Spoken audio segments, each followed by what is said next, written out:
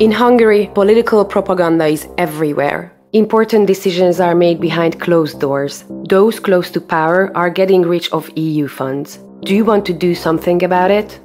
Become a supporting member of the independent Hungarian investigative center Direkt36. Freedom of the press is under attack here, but for years we've been working hard to hold the powerful to account. We have unearthed a number of important stories.